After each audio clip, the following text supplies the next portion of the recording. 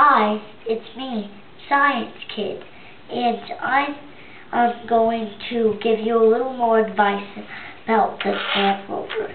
It's like, there's a light right here, and this is the W1 horn, and it's what will make that honk when you watch my videos, and um, there's a, these things are sort of like batteries, and then this is what gets the thing, um, the whole, um, from the contact from the remote.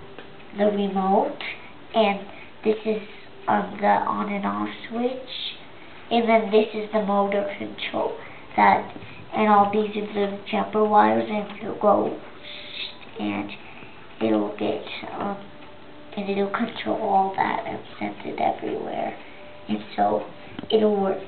And um, this is my sister, Science Girl. She's going to be in my video today.